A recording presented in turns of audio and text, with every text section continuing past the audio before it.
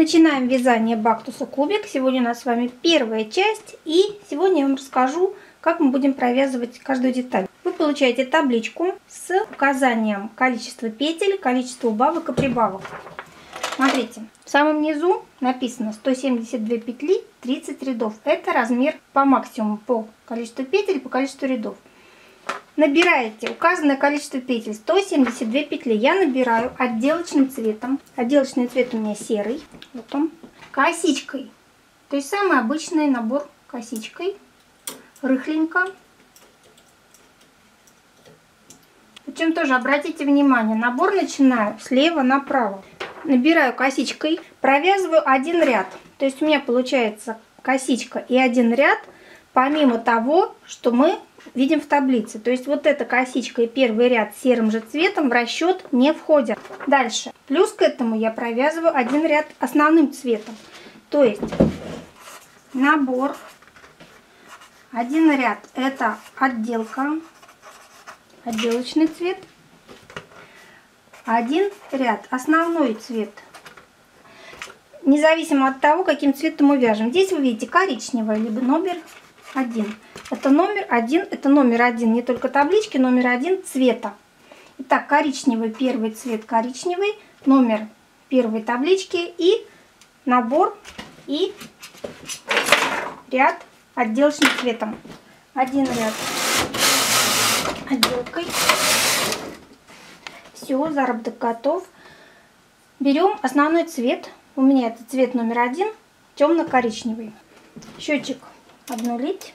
Первый ряд мы провязываем основным цветом.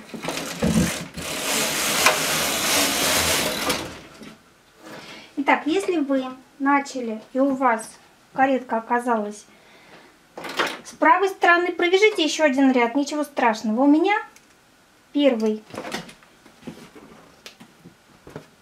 ряд минус 3 петли. Обратите внимание, там, где стоит минус, это убавка. Если не стоит никакого знака, это прибавка. То есть у нас детали будут несимметричные, каждая деталь разная, она может быть и, а, и с увеличением, и с уменьшением. И с одной стороны может она увеличиваться и уменьшаться по очереди. Поэтому минус это убавка, никакого знака это прибавка. Итак, первый ряд минус 3 петли. Убавку выполняю самой обычной косичкой. Любым удобным вам способом я убираю косичкой. Главное не затягивать.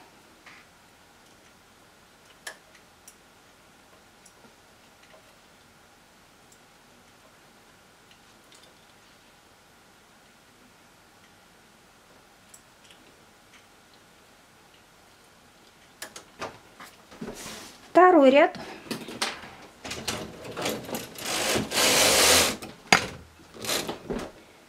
минус 3 петли с левой стороны. Третий раз, ряд минус 8, четвертый ряд минус 2.